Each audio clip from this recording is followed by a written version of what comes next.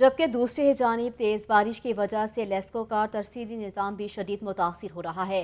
दो सौ से जायद फीडर स्ट्रिप कर गए हैं। वॉल्टन, कोट लखपत ग्रीन टाउन गड़ी शाहू समेत मुतद इलाकों की बिजली बंद है। आपको बता रहे हैं कि बारिश के दौरान ही लेस्को का तरसीली निज़ाम शदीद मुतासर हो रहा है। दो सौ से जायद फीडर्स हैं जो कि ट्रिप कर गए हैं और शहर के मुख्तलिफ़ इलाके अंधेरे में डूब गए हैं।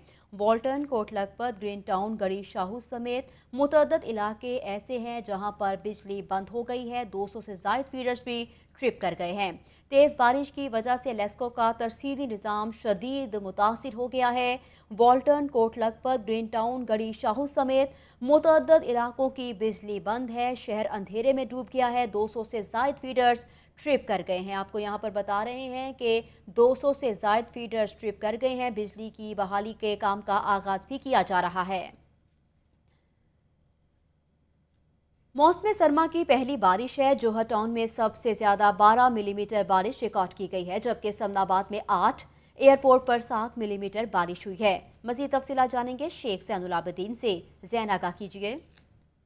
जुबैर महकमा मौसमियात की तरफ़ से आज बारिश की पेशगोई की गई थी और मौसम सरमा की आज पहली जो बारिश है वो बरस रही है। सबसे ज़्यादा बारिश जोहर टाउन में 12 मिलीमीटर रिकॉर्ड की गई है, जबकि शहर के दीगर इलाकों की बात की जाए तो एयरपोर्ट के इलाके में सात, जेल रोड पर चार और गुलबर्ग में पाँच मिलीमीटर बारिश रिकॉर्ड की गई।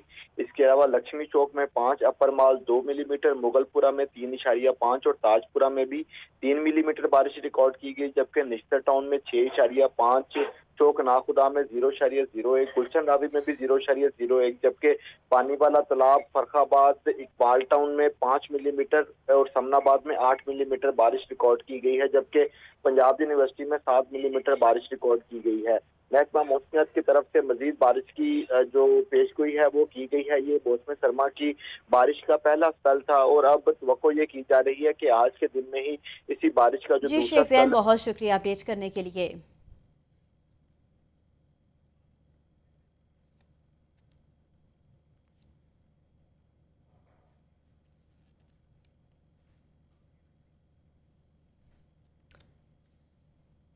मजीद आपको ये भी बताएँ कि शहर में वक्फे वक्फे से बारिश का सिलसिला जारी है, जबकि एम डी वासा, सैयद जाहिद अज़ीज़ समेत वासा का अमला फ़ील्ड में मुतहरिक भी हो गया है। आपको बता रहे हैं कि एम डी वासा ने लक्ष्मी चौक, लॉरेंस रोड का दौरा भी किया है और इंतज़ाम का जायजा भी लिया गया है।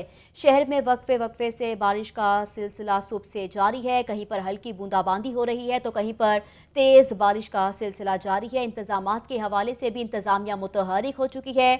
एमडी वासा की जानब से फ़ील्ड जो अमला है, वो फ़ील्ड में मौजूद है और जो इकदाम है, उनका जायज़ा लिया जा रहा है। एमडी वासा की जानब से लक्ष्मी चौक और लॉरेंस रोड का दौरा भी किया गया है। तफसीला जान लेते हैं शेख सैंदुलाबद्दीन से। जैन, बताइए इसकी तफसीलात। होने वाली बारिश के बाद शहर लाहौर के नशेबी इलाकों में नकासी आप के इंतज़ाम का जायजा लेने के लिए एम डी वासा सैयद जाहिद अज़ीज़ ने लक्ष्मी चौक, लारस रोड, कुर्तबा चौक और दीगर नशेबी इलाकों का दौरा किया और वहाँ पर जो निकासी आपके इंतज़ाम किए गए थे, उनका जायजा लिया है, जबकि दीगर जो स्टाफ है, उसको भी हदायत जारी कर दी गई है कि वो स्टाफ में मुतहरिक रहे। इस मौका पर एम डी बादशाह का कहना था कि आज होने वाली बारिश के बाद निशेबी इलाकों में बारिशी पानी जमा नहीं हुआ ताहम जहाँ पर भी अभी थोड़ा बहुत पानी मौजूद है, वो स्टाफ को हदायत जारी कर दी गई है कि उसके निकास को जल्द अज जल्द मुमकिन बनाया जाए ताकि ट्रैफ़िक रवानी में भी बेहतरी आ सके और जो लोगों के मसाइल हैं वो भी कम हो सके। ठीक है, शेख सैन, बहुत शुक्रिया आपका।